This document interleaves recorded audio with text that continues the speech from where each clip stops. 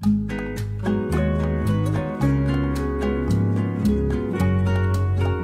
again and welcome to part 2 of our honeymoon in Maldives.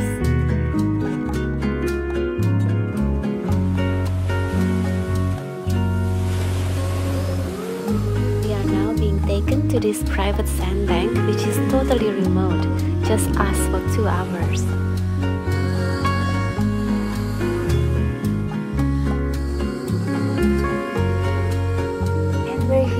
It looks so pristine, so clean and beautiful. And they've set up a beautiful dinner for us. Early dinner because it's about 5 o'clock at this point.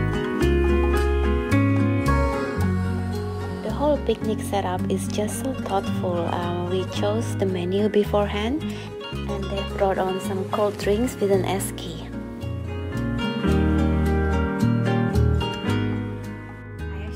Two change of clothes. One is a bikini with a white flowing cover up, which is looks so beautiful. Um, I feel beautiful in it, and also a white satin, a very comfortable dinner dress.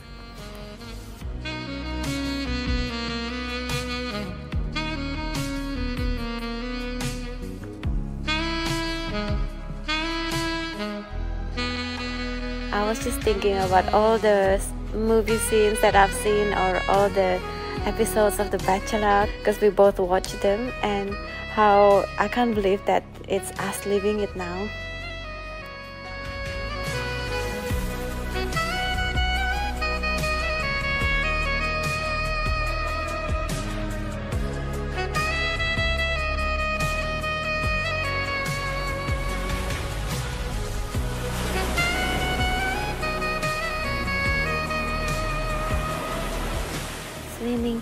With the warm water and the soft sand really feels like uh, you're being cuddled by nature and it feels perfect.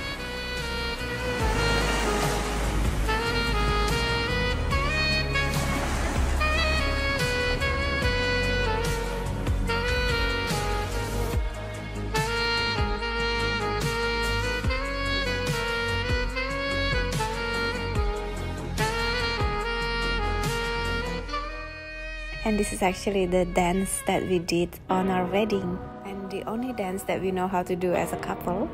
So wherever we found a nice spot we're like let's do the dance.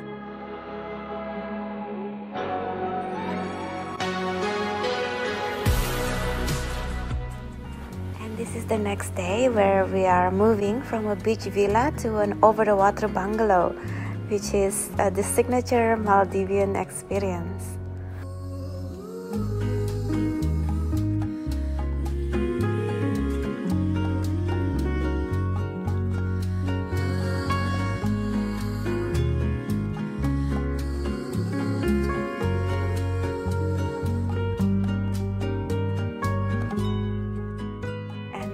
inside is just so perfect like it's furnished so beautifully with very high quality. We feel so at home and just look at this view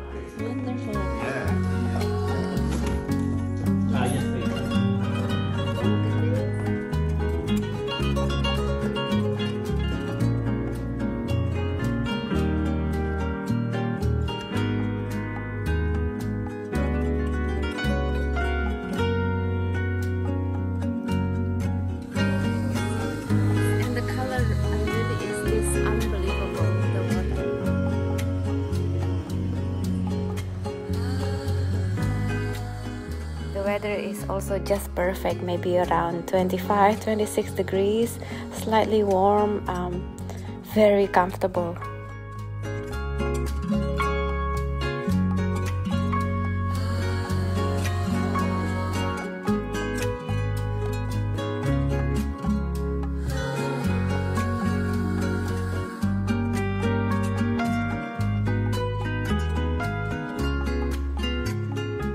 The water is just too inviting and I couldn't wait to jump in and swim.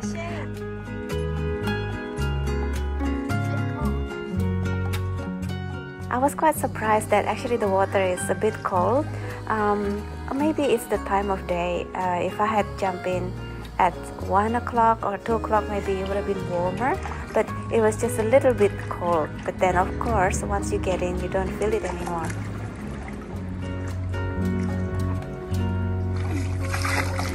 I forgot all my swimming I was scared of um, being in the sun, but actually you don't feel the sun at all.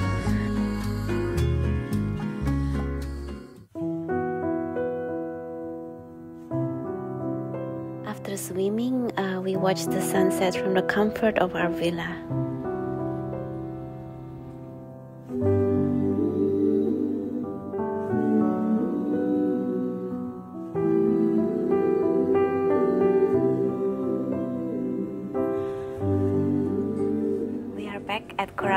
For dinner, and as always, we are being spoiled with choices.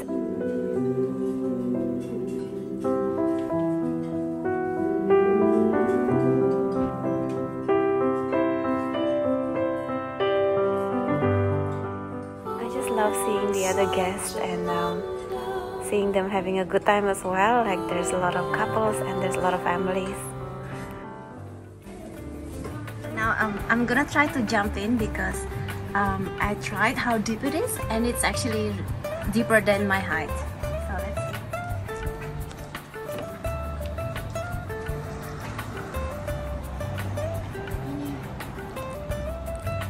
I'm just gonna do uh, a walk in. Oh my god, salty! I keep forgetting this is like ocean water because it's so clean, but it's really salty. The next day, we are in and out of water again. We had buffet breakfast and lunch.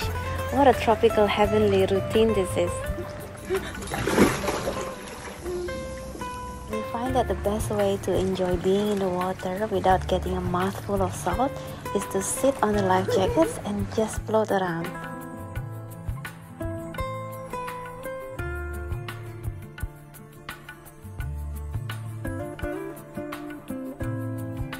It's a special evening tonight as my very talented husband Patrick will be performing for all the lovely guests and staff at Fushifaru.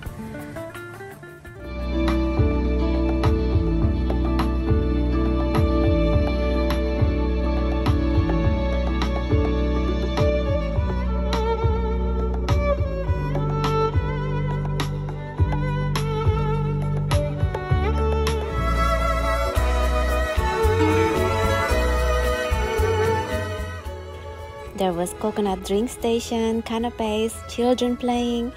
All around you, you can feel that there's lots of love in the air.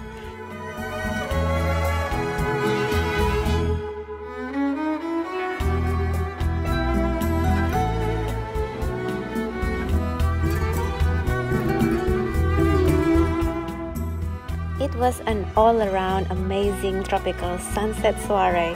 Everyone really loved the performance, myself included.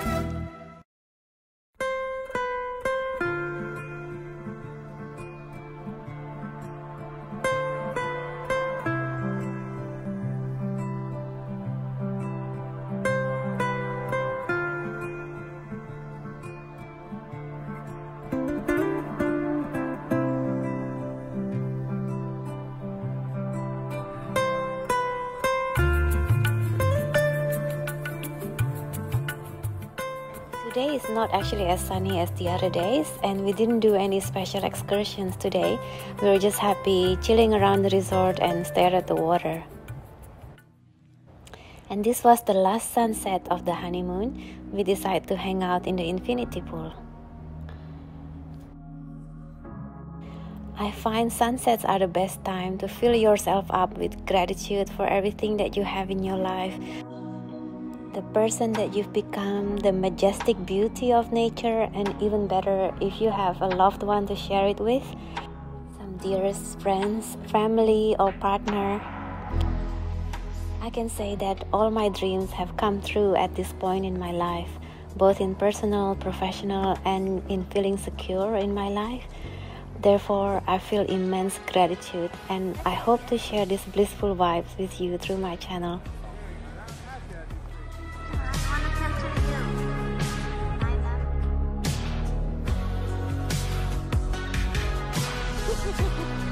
Choosing me as your forever prince. Aww. all.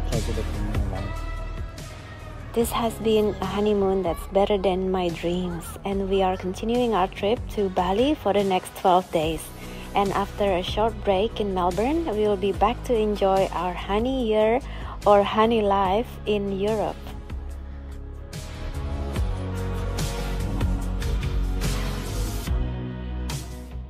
I'm on my Instagram more regularly and I upload lots of stories when I'm traveling, especially.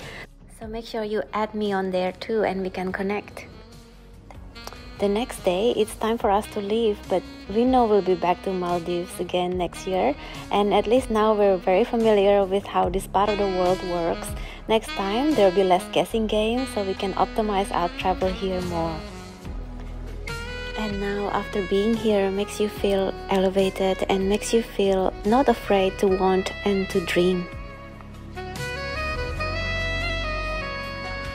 Thanks and see you soon. Take care.